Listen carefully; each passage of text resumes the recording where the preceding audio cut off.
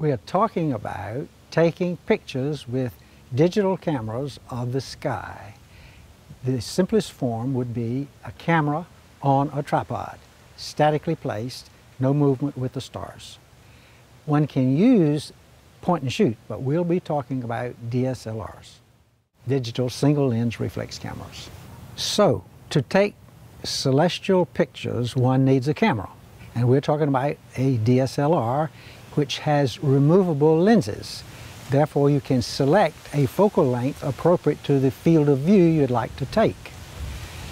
Additionally, you want lenses which are fairly fast, a low F number, which means more light for a unit time of exposure.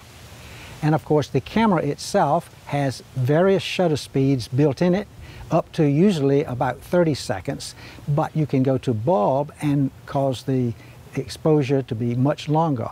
However, the Earth is turning during this time, and so you'll have to do some experiments to find out how long a given lens focal length can show a, an image of the sky without appreciable movement of the stars. Let's talk about the various objects that we may image with a static camera. The brightest, of course, is the sun, and you never try to image the sun without appropriate filtering for safety purposes as well as what the features you want to see on the sun. And of course, special filters like hydrogen alpha can really give detail that you can't see uh, with white light otherwise. The moon is also quite bright, in any phase for that matter, and it will take only snapshots to, to get, you'll have to find out what the appropriate exposure depending on the phase and the lens.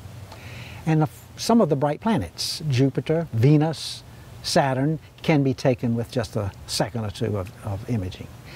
But when we get down to the dimmer objects, we need to keep this kind of photography to the brighter ones, such as bright galaxies, and the Andromeda Galaxy is one favorite of everybody. It's in fact seven times as large as the moon, the full moon. You can take various type of bright nebulae, like the Orion Nebula in the Sword of Orion, and star clusters, both open and uh, globular star clusters. And of course, occasionally a comet will come by, and that can be taken in just a few seconds exposure. There are other phenomena closer to Earth, in fact in Earth's atmosphere, like aurorae, which uh, appear in more northern latitudes and during uh, high solar activity, which is what we have this year, particular year, the maximum solar activity, 2013, of its 11-year uh, cycle. Also, there are artificial devices such as satellites which are whirling around the Earth all the time. And quite frequently in wide field views you will see a satellite trail cross the field of view, or maybe even multiple ones.